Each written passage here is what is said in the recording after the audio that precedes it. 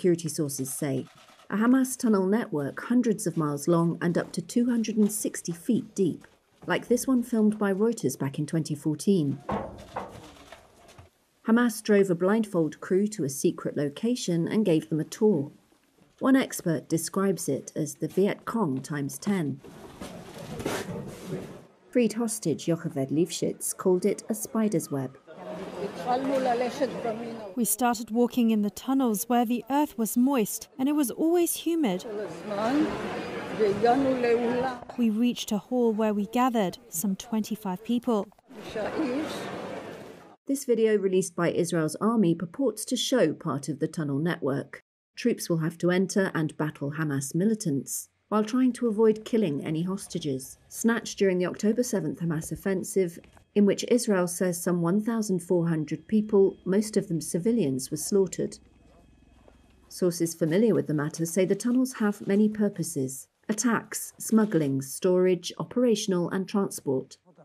The Gaza Strip is just 25 miles long, but security analysts say the network of tunnels beneath it is extensive. Israel has spent millions of dollars on tunnel detection and destruction, including a sensor equipped underground barrier that it calls an iron wall.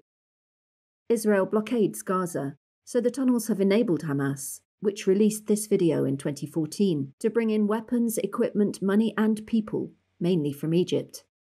They're one reason why the militant group is stronger in Gaza than in the occupied West Bank, where Israel's settlements, military bases, and monitoring devices make it harder to smuggle from Jordan.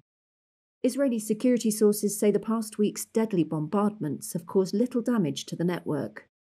Hamas naval commandos launched this seaborne attack targeting Ashkelon, for example.